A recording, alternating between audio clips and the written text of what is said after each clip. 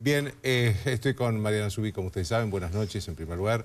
Eh, vamos a hablar con ella de lo que está pasando en, todo este uh, kirchnerismo y, denuncias y, decisiones importantes que han tomado los jueces. El juez Ercolini, la indagó, la llamó a indagatoria para el 9 de noviembre, seguro nuevo procesamiento por lavado de dinero para Cristina Kirchner.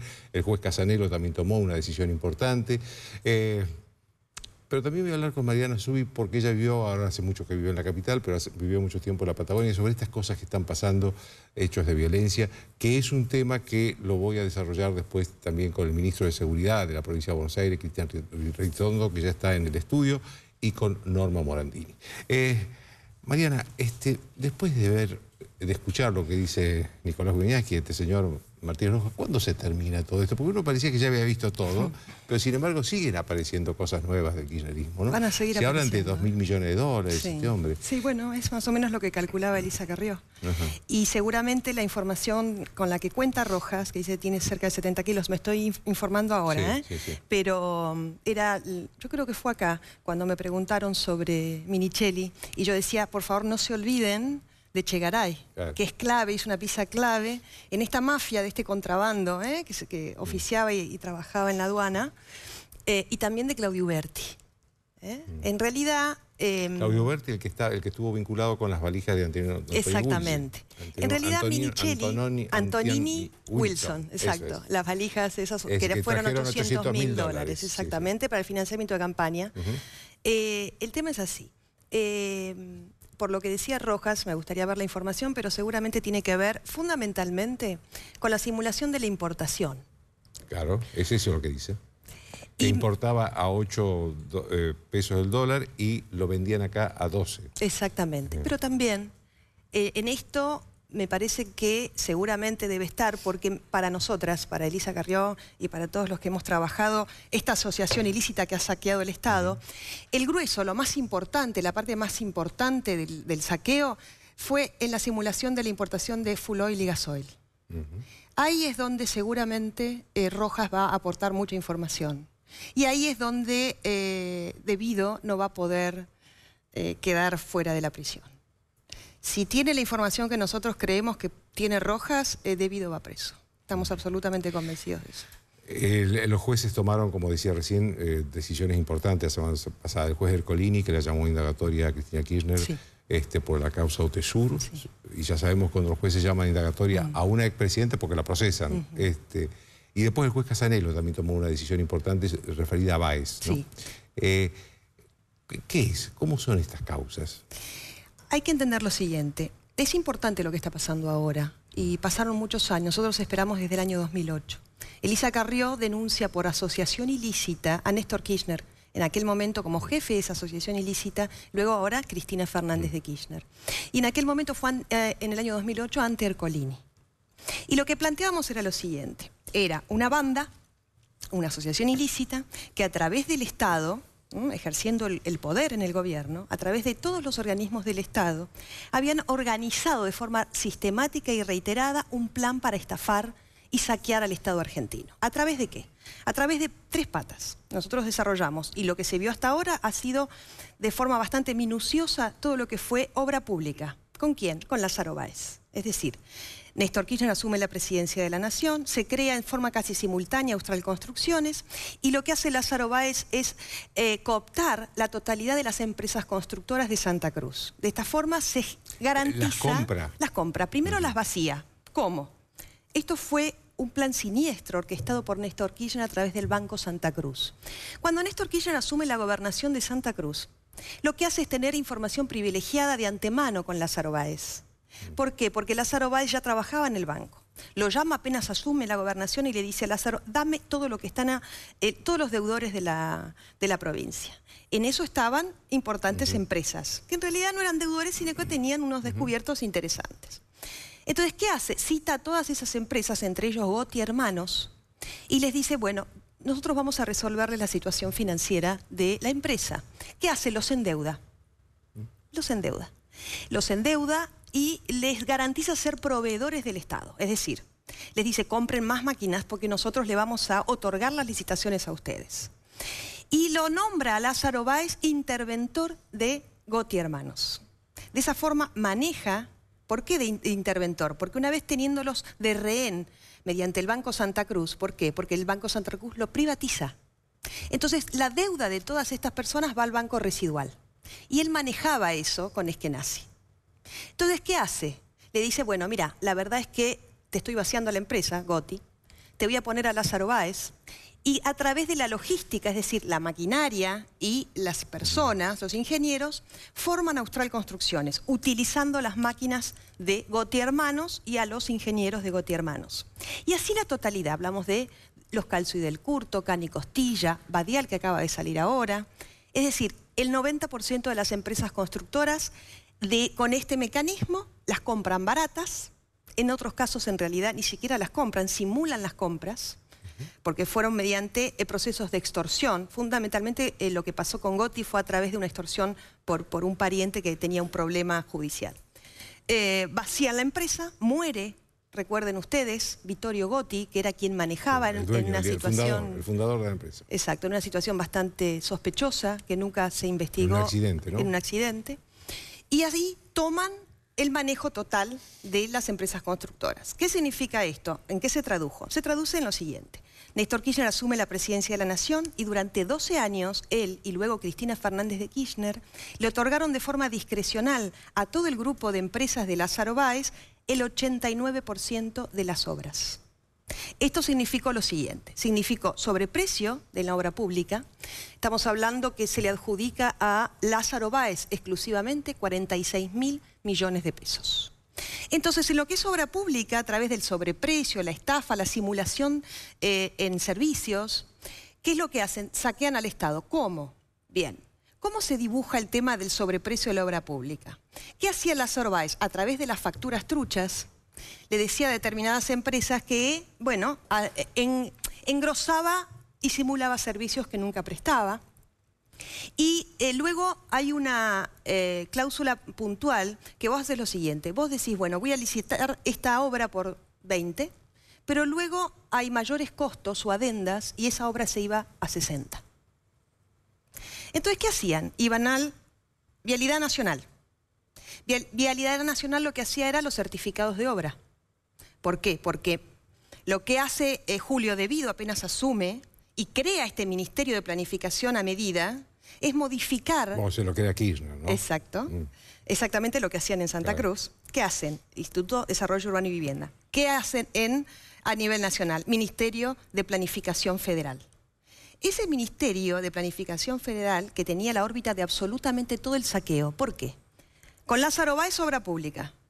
Y todo lo que era energía, que es esto que Roja seguramente nos va a aportar, fue el saqueo en la simulación de full oil y gasoil. En muchos casos con sobreprecio. Por ejemplo, yo recuerdo año 2007 al 2000 antes de que nosotros perdamos el autoabastecimiento, que fue un negocio, fue una, invención del kirchnerismo perder el autoabastecimiento en la Argentina, y esto te lo digo con conocimiento de causa, porque nosotros vivíamos... Pero estaba Néstor Kirchner todavía, ¿eh? Estaba Néstor Kirchner, exactamente. En la provincia de Santa Cruz teníamos reservas de gas y de petróleo. ¿Qué es lo que pasó? ¿Por qué pasó esto de la, de la pérdida de autoabastecimiento? Celebraban contratos espurios que hacía que a esas empresas no les sea rentable la perforación.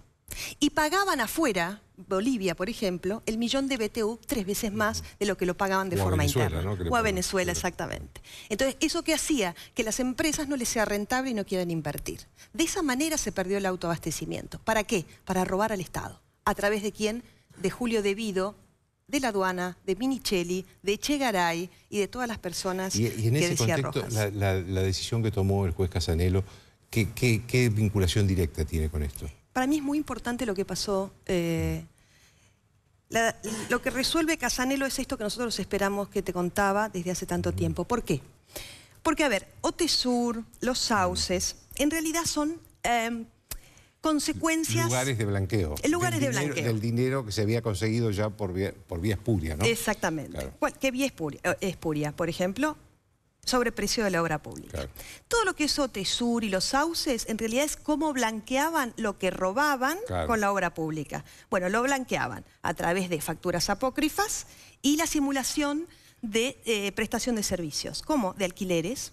La mejor forma siempre es un hotel, ¿no? Entonces, ¿qué hicieron? compraron de forma express entre el 2008, 2009 y 2010 lo que denominan Otesur. ¿bien? Es Altos del Calafate, Las Dunas, Los Sauces. ¿Cómo? Ah, es una empresa que tiene tres hoteles. Que tiene tres hoteles. Estos tres hoteles están en Santa Cruz. Dos están en el Calafate y uno en el Chaltén, que queda muy cerca del Calafate. ¿Y esto cómo lo compran? Lo compran de la siguiente forma. Simula Lázaro Báez comprarle propiedades a ellos.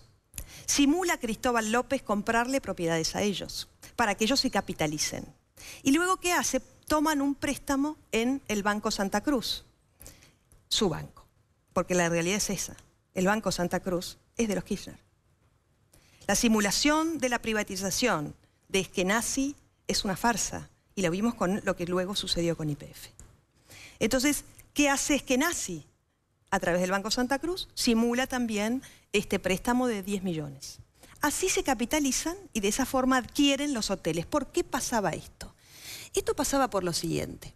Tenían tal cantidad de dinero físico tal cantidad de dinero físico efectivo en la provincia de Santa Cruz que ya no tenían eh, posibilidad de seguir acopiándolo y tenían un dato. Sabían, ¿qué sabíamos? ¿Dónde estaba el dinero? ¿Y, dónde estaba? En Santa Cruz. Mm. En las propiedades de Néstor Kirchner, de Lázaro Báez, en realidad el empleado de Cristina, pues esas propiedades son de Cristina Kirchner, en, las propiedades, en, en casa de Cristina Kirchner y en estancias de Lázaro Báez. Todo esto se presentó con testigos que siguen siendo aún protegidos, que fueron las personas que armaron las bóvedas, que luego las desarmaron y, construyeron eh, esa simulación de bodegas, eh, y las personas que trasladaron el dinero, las armas y los eh, documentos cuando Lázaro Báez desarma esas bóvedas. Y personas que luego desarmaron las bóvedas que Cristina Kirchner tenía en la casa de 25 de mayo, ahí en una cochera, habían tres cajas fuertes. Dos de ellas eran del ex banco hipotecario. Esas cajas fueron puestas allí y luego bueno, fueron sacadas con en PPT, Periodismo para Todos. Eh, tuvimos el dato y fue el equipo eh, de producción y se, vio casi en simultáneo cómo sacaban los restos de esas cajas fuertes que las habían sacado a pico y pala para no hacer ruido porque estábamos todos encima y sabíamos cuáles eran los datos. Entonces, ¿qué pasaba? Ya no tenían forma de poder seguir acopiando el dinero físico. Necesitaban, no había lugar. No había lugar. No había lugar. Y sabían que nosotros teníamos esa información y esos datos. Habíamos ido... Y entonces empieza el operativo blanqueo. Empieza el operativo blanqueo. Compran las, eh, los hoteles. Mm. Compran los hoteles y empieza todo el offshore en simultáneo. Mm. Hay dos tiempos. Hay un tiempo antes de la muerte de Néstor Kirchner y luego de la muerte de Néstor Kirchner. Esto muy bien lo dice Casanelo en esta en lo que acaba de, resolver. ¿Qué resuelve Casanelo? Le dice, mire, señor eh, juez Ercolini, le devuelvo la gentileza que usted tuvo en el 2008. ¿Qué hizo Ercolini en el 2008? Desmembró la megacausa, la desmembra y la manda a diferentes jueces. jueces. Y ahora Casanelo le devuelve la gentileza y le dice, todo esto es parte de la megacausa. Lo mismo Bonadío, es decir, va a volver todo a Ercolini absolutamente todas las causas que están satélites a Ercolini. ¿Por qué? Porque si no, hay una situación que nosotros veníamos advirtiendo. Hubieron durante estos años em, denuncias en simultáneo a lo que fue la megacausa. Elisa Carrió explicó en esa denuncia, la megacausa, en la denuncia por asociación ilícita, con exhaustiva cantidad de prueba documental todo lo que luego se vio en los sauces y en Otesur. Ahí ella explicaba de forma exhaustiva cómo, a partir del año 2008, estaban saqueando al Estado. Luego hubo, por supuesto, en esa causa Otesur y los sauces, por tiempo de, cuestiones de, tiempo que fueron posteriores, cómo ese dinero reingresaba y se lavaba a través de los hoteles. Pero ¿qué quiero decir con esto? Gracias a que Casanelo acaba de devolverle esta causa a Ercolini, que esperemos la acepte, y procese, procesó por lavado de dinero a Lázaro Báez, entre otros. Y dice claramente, usted debería de llamar a indagatoria a Cristina Fernández de Kirchner, dado que acabo de procesar a todas eh, las personas que integran la asociación ilícita que usted dice eh, haber procesado como jefa a Cristina Fernández de Kirchner. Es decir, que lo que debería de resolver Ercolini es, bien, vuelven todas esas causas, ¿bien? Al, al juzgado y procesar y hacer un solo juicio. Sí, yo creo que se va a terminar en eso. ¿eh? Porque además, el tema de la asociación ilícita, motivo por el cual, reitero, Cristina Kirchner debería hoy estar presa. Es inadmisible que esté libre. Inadmisible. No hay justificación. Porque el resto de las personas están presas por eso. Y dicen que ella no podría entorpecer. Y quiero decir lo siguiente. Van a haber más arrepentidos. Y quiero decir lo siguiente. Hay una persona que está presa por orden de Cristina Fernández de Kirchner y que es Manzanares. El contador. Exacto. El contador de la familia Kirchner. Manzanares no hizo lo que hizo porque se le ocurrió, sino por orden de Cristina Fernández de Kirchner. Cristina Kirchner le ordena a Manzanares desviar ese dinero y que, eh, era, que ¿de qué dinero hablamos? Hablamos de el dinero de las em, alquileres. Le dice a Manzanares, fíjate de qué forma podemos hacer, porque esto lo tengo embargado y yo necesito que ese dinero me llegue.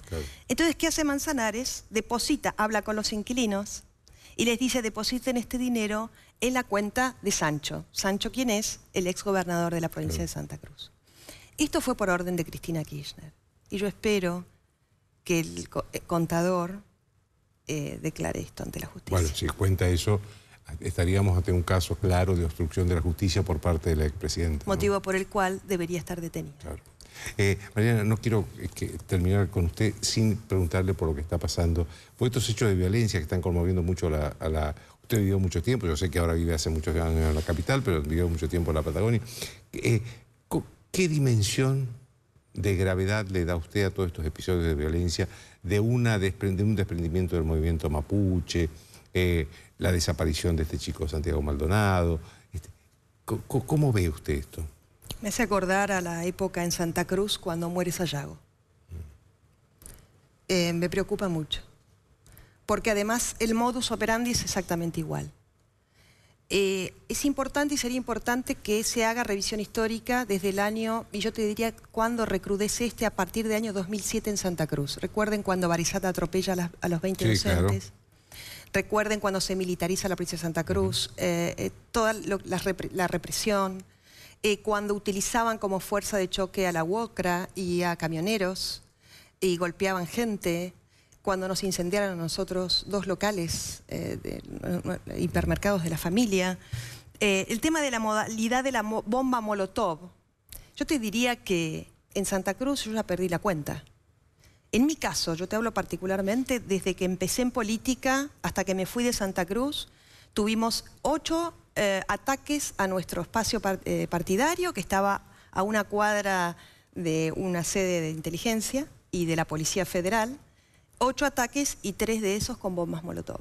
Por ejemplo, eh, comités radical en la provincia de Santa Cruz sufrieron muchos ataques con bombas Molotov. ¿Vos crees que entonces que detrás de esto podría estar el kirchnerismo? Están ellos, no tengo ninguna duda. Porque tienen miedo. Tienen miedo de ir presos. Y están ellos, absolutamente. Y me preocupa. Me preocupa porque la verdad es que, por esto, por esto mismo que te digo, el desenlace en Santa Cruz fue traumático.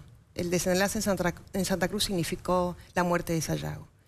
Entonces, no es un tema menor lo que está sucediendo. Sí, porque además hubo episodios acá, en la capital, hubo episodios en. Yo creo que van a recrudecer. Y además hubo declaraciones que casi instigaban al delito, es decir, a romper el orden democrático, ¿no? De muchas personas vinculadas. Están acostumbrados a eso. Ellos entraron por la ventana en la gobernación de la provincia de Santa Cruz, derrocando a un gobernador, armando una causa. Recuerden, se va por utilizar una máquina de vialidad, ese gobernador.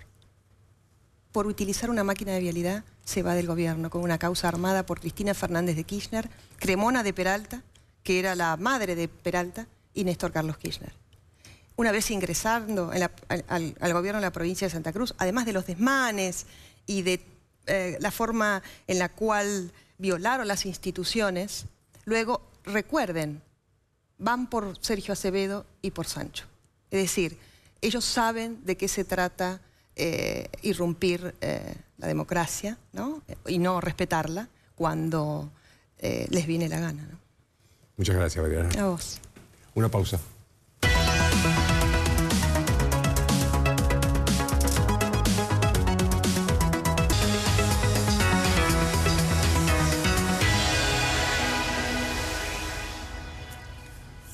Bien, el ministro de Seguridad de la provincia de Buenos Aires, Cristian Ritondo. Ministro, lo primero que le quiero preguntar es, usted que vio a este diálogo con Mariana Zubi y también este, creo que algo de lo que Nicolás Wiñaski... Sí, vi la, eh, nota Central con Nicolás. Eh, con Mariano eh, Martínez Roja. Este, ¿qué, opinión tiene sobre esto? Es como que estamos viendo una serie que nunca se acaba, es como lo que vemos ahora que sale en la nueva temporada. Digo, es como que se van incorporando capítulos, algo que uno creía que ya había visto todo, eh, de lo que había pasado en una etapa de los 12 años en Argentina, donde quisieron decir que era una década ganada y fue una década robada para los argentinos, ¿no? Entonces, tener esta visión y ver que cada día que cuando uno cree que había visto todo, vuelve la nueva temporada y aparecemos con otro tema, con otro negocio, con otro sistema de blanqueo. Y la verdad que creo que los argentinos están agotados de, haber visto lo que pasó estos años y también de una fuerte impronta de los argentinos que necesitan y quieren ver justicia pronto. ¿no? Eh, ministro, hubo atentados en el Ministerio de Seguridad donde usted tiene su despacho, hubo una bomba Molotov en el Senado, rompieron una de las ventanas del jefe de gabinete, de Federico Salvay. Eh, ¿Qué está pasando? A ver, eh, hoy hubo algún problema en Córdoba, tuvimos que en la manifestación de la ciudad de Buenos Aires. Creo que hay grupos violentos que detrás de reclamos que pueden ser hasta justos, eh, lógicamente un reclamo por, la aparición de una persona con vida que no se sabe dónde está, es un reclamo justo para ser escuchado y para trabajar en consecuencia. Lo que es imposible que detrás de cualquiera de eso, cualquier reclamo, estos grupos de violentos rompan un banco, eh, tiene una molotov en el Senado, eh, ataquen eh, la gobernación, rompan vidrios del jefe de gabinete Federico Salvay, cuelguen banderas donde lo que dicen es muerte a y proclaman la muerte. La verdad que yo pertenezco a un espacio... ¿Muerte a quién? Decía muerte a los políticos, policías.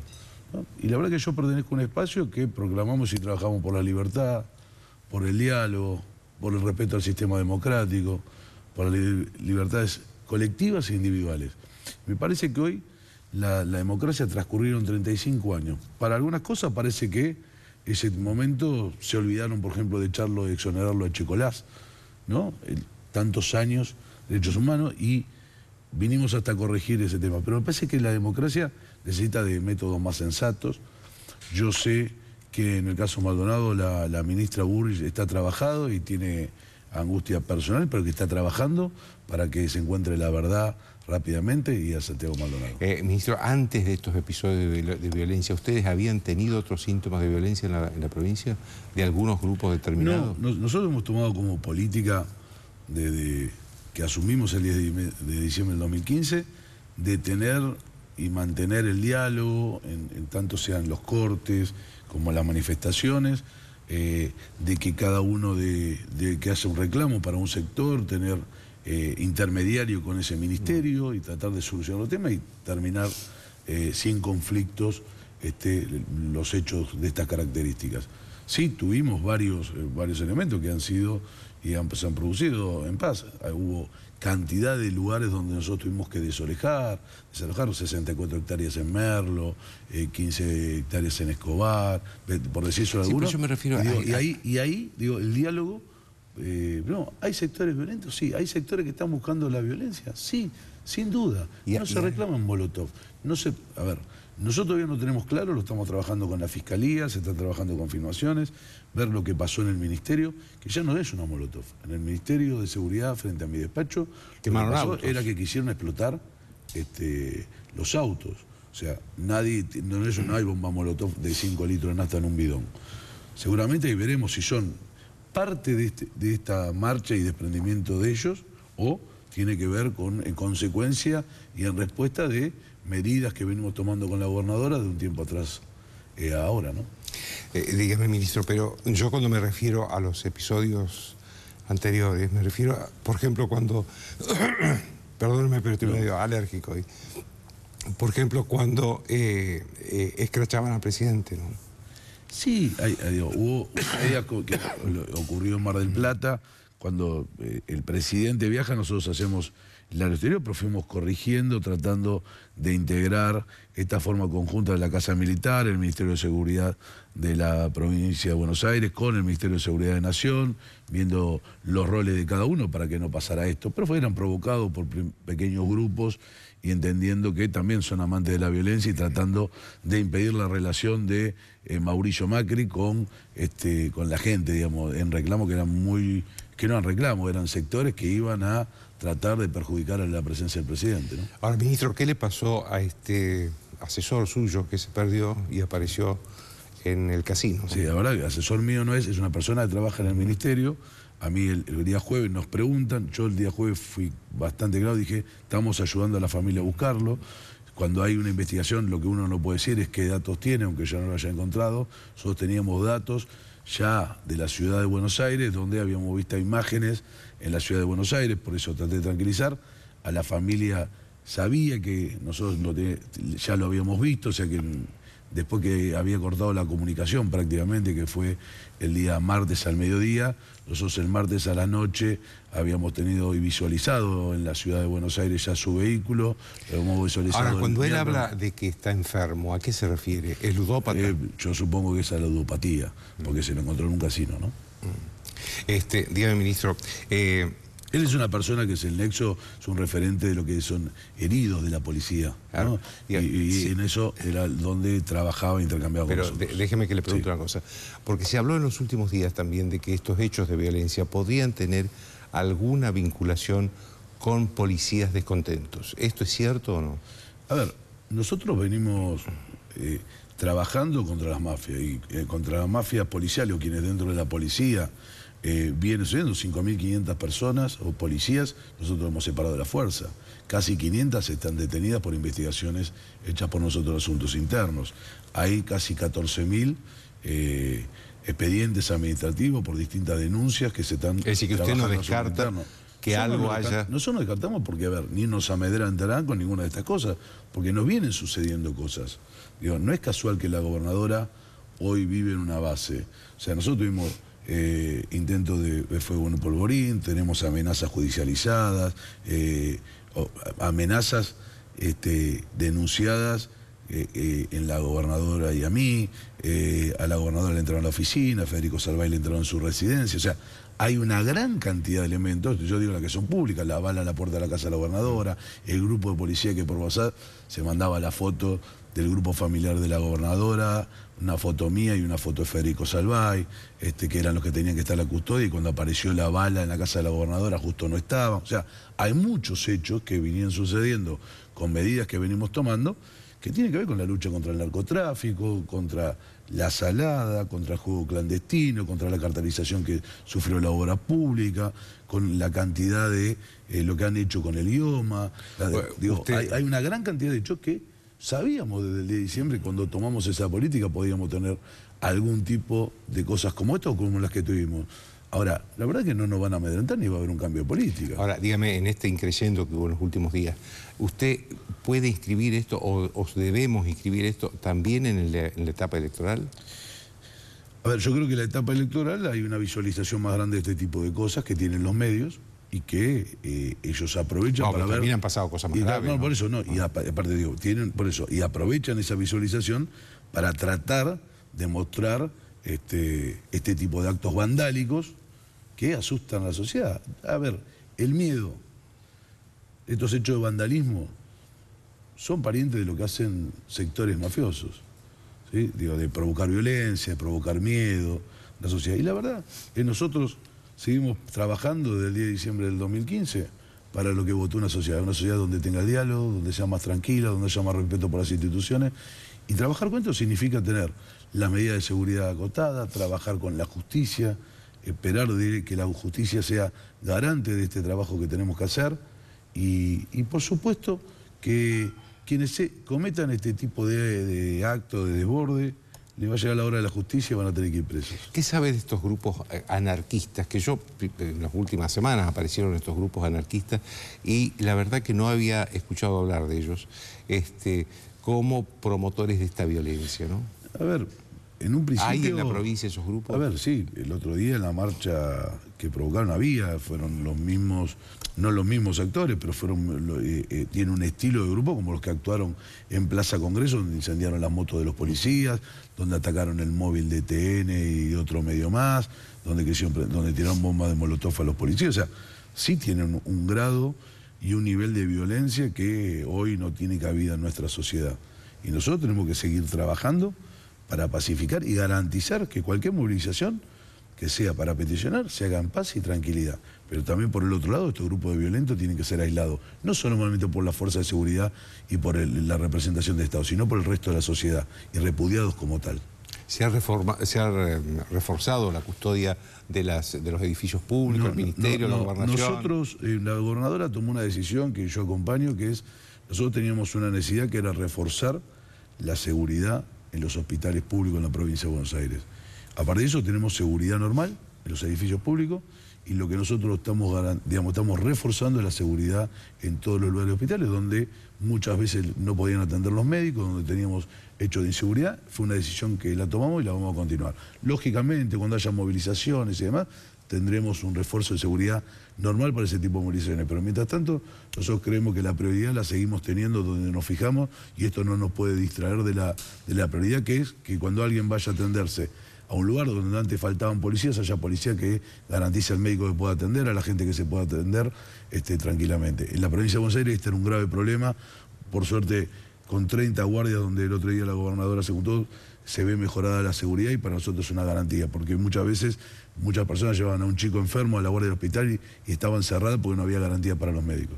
Le agradezco mucho, ministro. muchas gracias, Joaquín. Una pausa. Bien, como les dije con Norma Morandini, este, una referente moral en este país, sin duda, una de las pocas referentes morales, otra es Graciela Fernández Mejide, que hoy la escuché este, muy bien en, la radio, en Radio Mitre. Eh, y yo quisiera hablar con Norma de muchas cosas, pero quisiera pedirle primero si tiene alguna opinión de esto que hemos estado escuchando, que es una, primicia de Nicolás Wiñaski, eh, muy buena, donde le hace un reportaje a un señor que está prófugo, que está en Estados Unidos, y él dice que eh, ayudó a lavar dinero durante los 12 años este, de los Kirchner por 2 mil millones de dólares o más. Eh, yo creía que ya, ya, habíamos visto todo y la verdad que este, aparecen nuevas cosas, ¿no? más allá de los detalles. ¿no?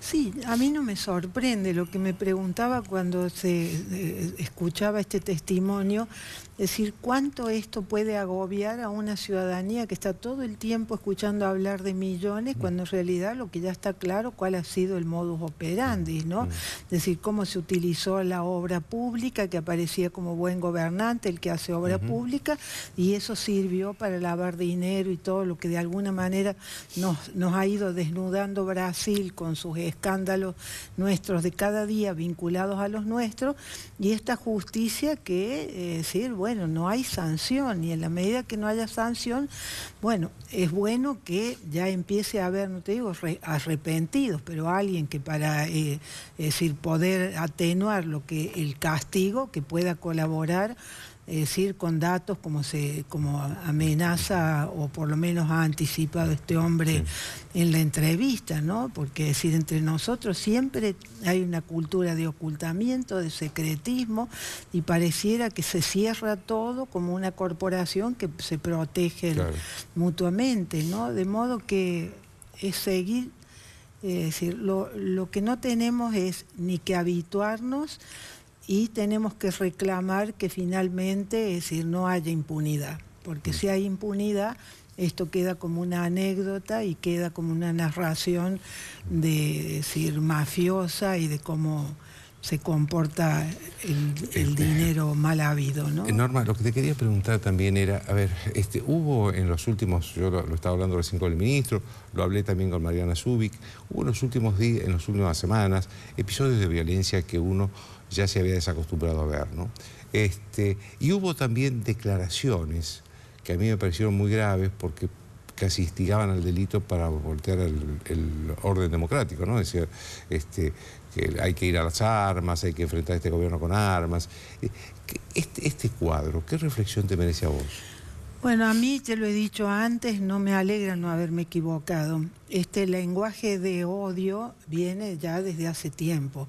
Desde que este sector del país eh, se apropió de lo que había sido la tragedia, que ha sido la mayor tragedia contemporánea que ha tenido nuestro país, se apropió de, la de la dictadura, se apropió de nuestros muertos, nos despojaron de cualquier posibilidad de que uno pudiera tener una voz diferente a esto, de este grupo que gritó más fuerte, que vociferó, que nos ofendió, que nos descalificó frente a una sociedad habituada al silencio y que apenas si comienza a susurrar. Me parece que ya hemos dejado de susurrar. De modo que eh, a mí no me sorprende que esto, porque bueno, si un día te insultan, mañana te descalifican, el otro te hacen desaparecer simbólicamente, lo que viene como proceso es que te aniquilen. Entonces yo creo que hay que mirar de frente esto, no inquietarse en el sentido del silencio, no responder con ira ni responder con odio, pero sí ya es hora de que dejemos de hacer silencio, de que haya un nunca más en los más jóvenes. Esto no puede ser que sea, yo te agradezco mucho que me, que me invites y que pienses que pueda aportar o el respeto de escucharla siempre a Graciela Fernández Mejide, pero el que tengamos este, una tragedia personal, familiar, es decir, da autoridad, pero ya es hora, en 30 años de democracia, que es decir, sea un clamor colectivo, que la sociedad deje del silencio y sobre todo que, dejemos de amenazarnos con el pasado, porque siempre seguimos hablando de la dictadura y no de cómo debe ser una democracia que como las fuerzas de seguridad en una democracia tienen que combatir el delito,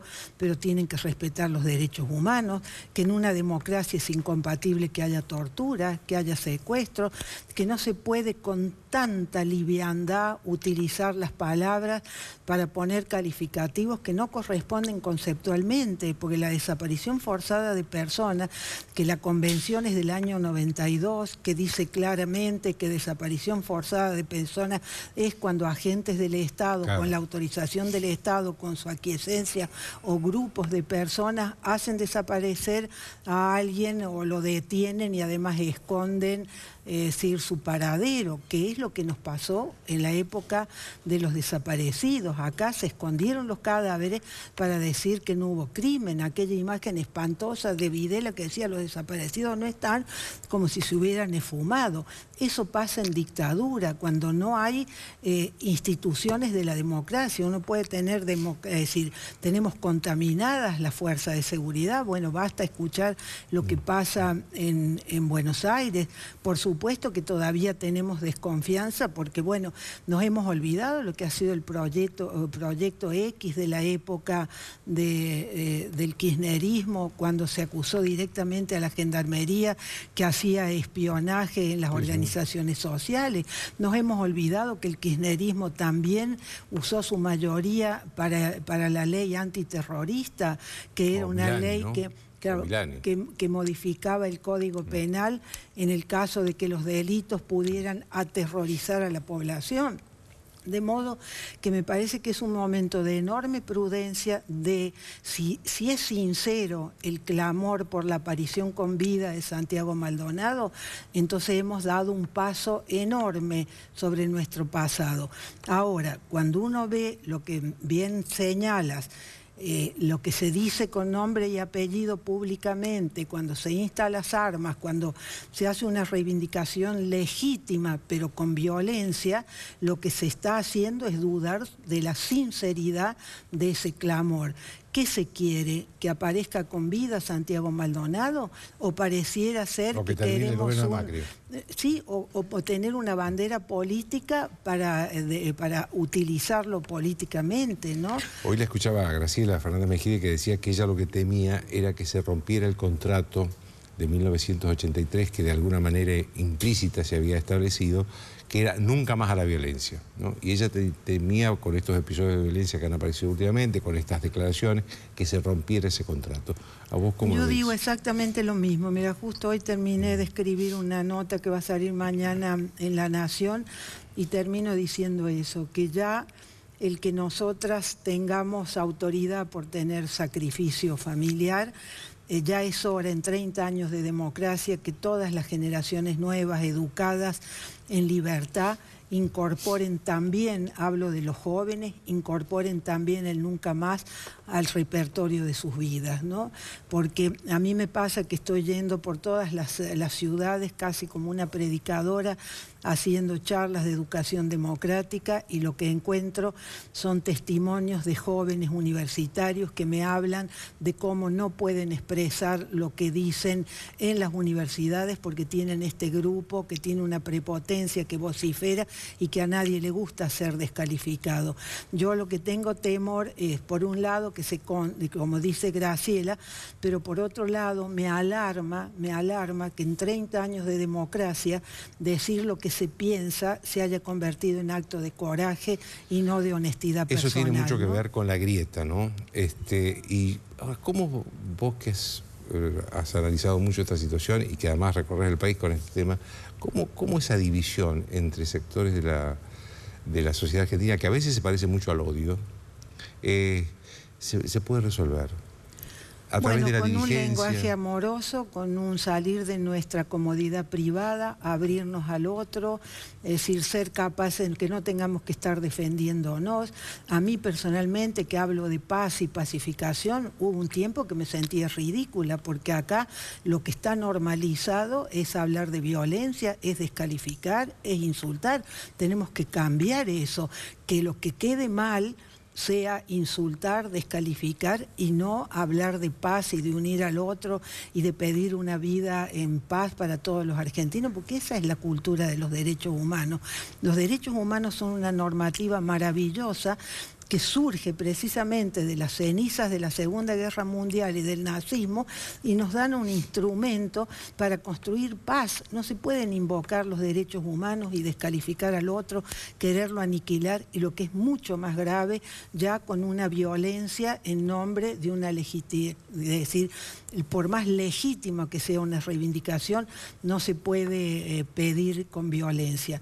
Y para bajar un poco el dramatismo con el que yo suelo a veces encarar estos temas, siempre cuando pasa esto yo recuerdo lo del general Figueredo en Brasil que fue el último militar, el último presidente. El último presidente de la dictadura.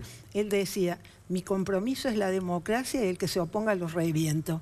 Entonces, es decir, el humor sirve para esto, porque es tan absurdo que se invoquen los derechos humanos, después se descalifique, que nos digan las cosas que nos dicen en las redes sociales, pero sobre todo, no importa lo personal, lo que es grave es que se tergiverse la idea de democracia. Yo creo que la única y verdadera grieta que hay entre nosotros, y por eso es imposible el diálogo, es que hay un sector que no cree en la democracia, la ha reducido a una democracia plebiscitaria. Si la presidenta, la expresidenta se niega a transmitir los atributos del poder es una clara confesión de que no es democrática. Cuando analizamos las elecciones nada más que con el marketing político, cuando tenemos que decir que la obligación de los candidatos en el momento que le piden confianza al ciudadano para que les delegue la responsabilidad de tomar decisiones en su nombre, el silencio no es de la democracia. La democracia es oral, es la palabra, es el pacto verbal, es el debate, es el juego de las ideas. Eso es la democracia. Entonces me parece que en lugar de hablar tanto, tanto de la dictadura, ya está en la hora de que anunciemos cómo debe ser una democracia, qué la define a la democracia, qué es la participación ciudadana, que no es lo mismo que la movilización. Participarse, ser voluntario, ser espontáneo, personal, no que alguien me dice que tengo que ir a movilizarme contra alguien. Es trabajar a favor de valores que compartimos todos, como son querer vivir en paz, que podamos garantizar derechos. No se puede utilizar la pobreza para hacer política, no se puede utilizar el dolor que hay en, en muchísimos sectores de nuestro país para hacer política. La política tiene que ser una cosa mucho más noble, mucho más, es decir, de juego limpio, aunque a riesgo de parecer ingenua, utópica, pero la política tiene que sacar de nosotros lo mejor y no lo peor, porque si no, ahí vemos, volvemos a lo que ha matado la política, que es la violencia. Cuando hay estado de terror y una sociedad que queda asustada, amedrentada, el que triunfa es precisamente la concepción autoritaria, no democrática. ¿no? Entonces me parece que tenemos que unirnos primero ahora para exigir que la justicia no demore tanto. No puede ser que en nuestro país no se pueda investigar nada. Tenemos que exigir que los gobernantes que tienen responsabilidad sobre los agentes de seguridad, es decir, queremos saber cómo están, eh, cómo se educan las fuerzas de seguridad para que combatan el delito, pero que no torturen, que no, eh, que no cometan, decir, delitos, esto es que estén subordinados a lo que son los derechos humanos. ¿no? Me parece que tenemos un gran desafío que es eso, eh, salir de nosotros mismos, eh, no estar amedrentados, lo que no quiere decir que uno vaya a pelear, quiere decir que defienda el nunca más los valores de la democracia y que finalmente los argentinos mayoritariamente queremos vivir en paz. ¿no? Muchas gracias, Norma. Gracias a ti. Una pausa.